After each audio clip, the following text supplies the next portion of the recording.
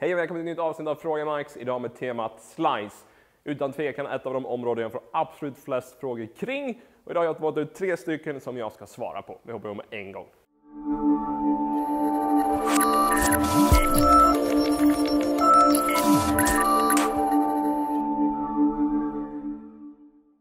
Slicen är ju lite av en folksjukdom i golfvärlden, upplever jag. Det vill säga att det är så många som har den, det är många som absolut inte vill ha den och nästan räds den där slicen. Så det är inte så konstigt att det finns mycket frågor kring den och vi kör igång med en gång med fråga nummer ett. Fråga nummer ett lyder. Hej Max, vad anser du är den vanligaste anledningen till en slice? Vanligaste anledningen till en slice, det där är en väldigt, naturligtvis en väldigt svår fråga eftersom det beror väldigt mycket på spelare till spelare, förutsättningar till förutsättningar. Men det vi vet är ju naturligtvis att det handlar om hur klubban rör sig till bollen och hur klubban pekar när den träffar bollen. Så jag svingspår och bladposition, de två skapar den här slicen.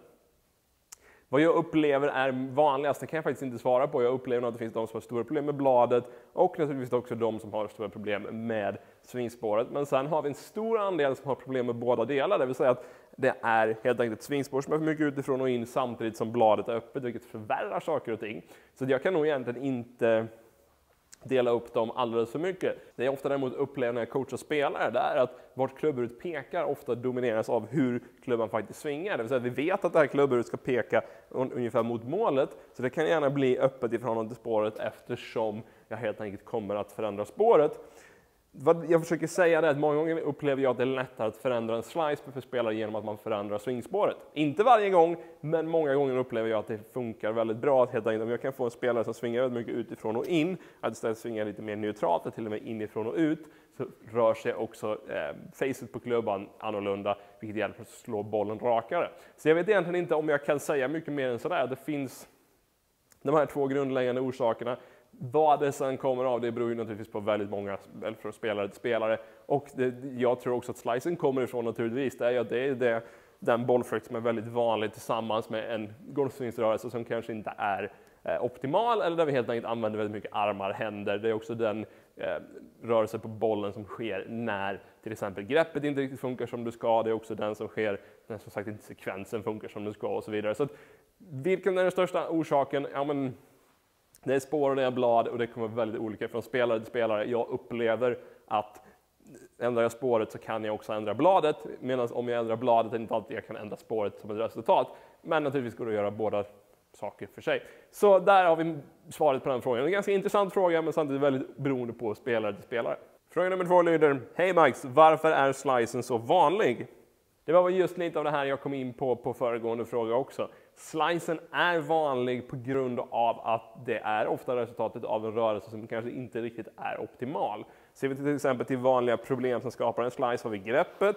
Greppar jag till exempel klubban väldigt mycket upp i handen så kommer jag ha svårt att rotera klubban vilket innebär att klubban kommer att vara öppen när jag kommer ner till bollen. Det skapar en slice. Svingspåret som är utifrån och in skapas gärna av för mycket armar till exempel, vad vi säger är en eh, casting eller over the top, gärna att vi vill slå till bollen med armarna och inte med hela kroppen. Återigen en väldigt vanlig orsak.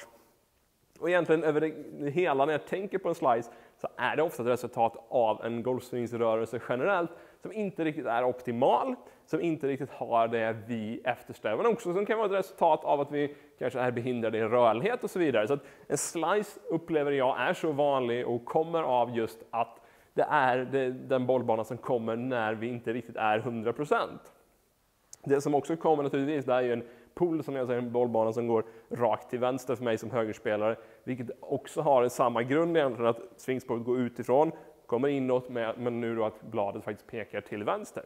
Båda de här bollbanorna upplever jag väldigt vanliga när det gäller just svingar som kanske inte riktigt är optimala. En, en sving som man behöver lägga lite mer jobb på. Så ser man på de här mediegolfarna som kanske bara spelar en gång, någon gång ibland och de lägger inte allt för mycket tid, de tränar inte så mycket utan de tycker mest det är roligt.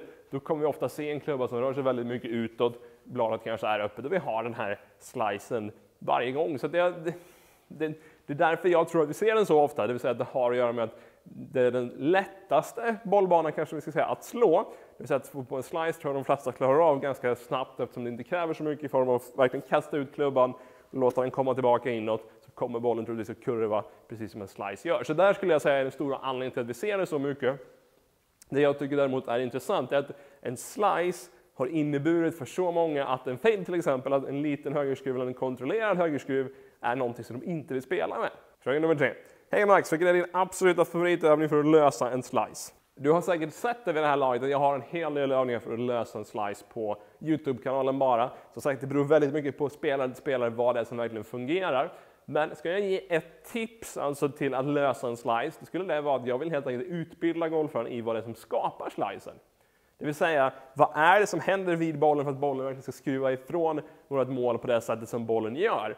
Det upplever jag alltid är det mest effektiva sättet att lösa en slice. Att förstår du att klubban kommer utifrån och in, bladet är öppet i förhållande till hur klubban svingas, då kommer du ha lättare att faktiskt ändra det själv. Medan har du aldrig kontroll på har du aldrig en förståelse för hur klubban faktiskt rör sig in till bollen, då kommer det vara väldigt svårt eller snarare hur den rör sig in till bollen och hur det faktiskt påverkar var bollen kommer ta vägen, då blir det extremt svårt att förändra någonting. Och en övning kanske funkar, men du vet fortfarande inte riktigt vad den där övningen ska göra. Så att så länge jag inte riktigt har kontroll på vad det är som ska hända och vad det är som händer just nu som skapar den där bollbanan, så är det svårt, upplever jag, att få en spelare att verkligen lägga om sin sving på ett bra sätt.